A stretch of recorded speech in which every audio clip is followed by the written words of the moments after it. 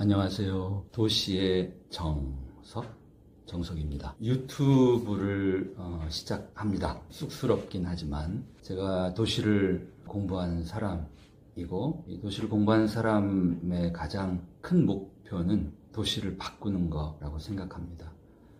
공부를 마치고 서울연구원에서 13년 어, 서울 도시 설계 연구를 하고 또 서울을 바꾸기 위해서 나름 열심히 애를 썼습니다. 그리고 이제 대학에 와서 또 14년을 보냈고 도시를 바꾸기 위해서 연구자들이 이제 하는 일이 뭐 논문을 쓰기도 하고 정책을 개발하기도 하고 또 보고서를 쓰기도 하고 그런데 그것만으로는 한계가 있는 것 같아요. 결국 시민들이 마음을 모아줘야 도시가 바뀌는데 우리 시민분들은 어, 연구 보고서나 논문 보다는 그 다른 소통이 필요할 것 같아서 그래서 연구원 시절에 어, 홈페이지도 만들고 그 블로그도 좀 하고 페이스북과 같은 그 SNS도 열심히 하고 있고 시민분들이 편안하게 읽을 수 있는 어, 책을 책을 좀 쓰자 이런 생각을 하면서 어, 나는 튀는 도시보다 참한 도시가 좋다 도시의 발견 천천히지생 같은 책을 말하자면 대종서를 쓰기도 했죠. 근데 요즘에 보니까 아마 이런 책들보다도 유튜브가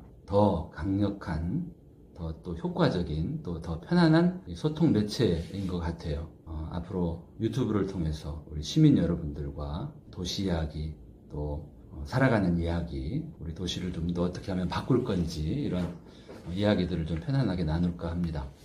어, 오늘은 어, 제가 있는 이곳을 좀 어, 소개할까 합니다. 여기는 서울시립대학교 대학본부 4층 교무처장실입니다. 어, 교무처장 임기가 이제 내일이면 끝나게 되어서 가슴이 좀 설렙니다. 이제 어, 이곳에서 머물 시간도 얼마 남지 않았는데 교무처장실 지난 2년 동안 생활했던 이곳을 좀 소개해 드릴까 합니다. 자, 저하고 같이 한번 가보시겠습니다. 저 안쪽이 제가 앉아서 어, 일을 하는 공간이고 그리고 이쪽은 어, 회의실입니다.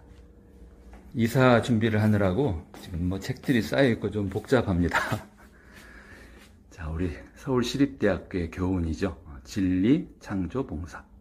진창봉이라고도 부르기도 합니다. 그리고 우리 방에 있는 꽃들 중에 하나 파키라 예쁘죠? 이렇게 세잎이 또 이렇게 올라오고 있습니다. 우리 방에서 제일 큰 나무죠?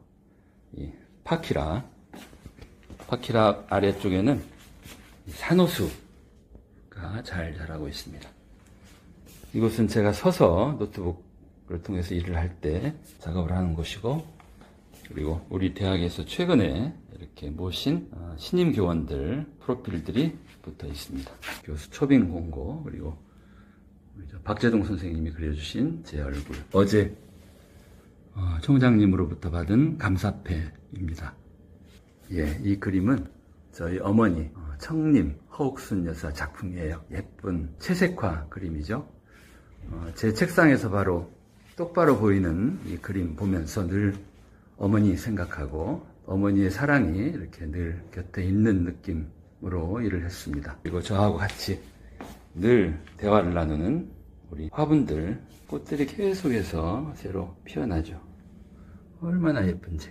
그리고 이곳이 4층이어서 이렇게 창밖 풍경이 아주 아름답습니다. 저기 보이는 장상곤매 서울시립대학교의 상징 동물이죠. 시립대는 이렇게 동산도 있고 저 멀리 보이는 대강당처럼 오래된 건물들이 많이 남아 있습니다.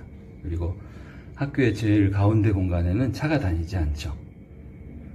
그리고 차들은 학교의 교정의 바깥쪽을 일방 통행으로 이렇게 돌아오도록 되어 있습니다. 어, 서울시립대학교 대학본부 4층 교무처장실을 여러분들에게 소개해 드렸습니다. 어, 앞으로 종종 도시의 정석 유튜브 방송을 통해서 여러분들 만나 뵙고 인사 나누겠습니다. 또 뵙겠습니다. 고맙습니다.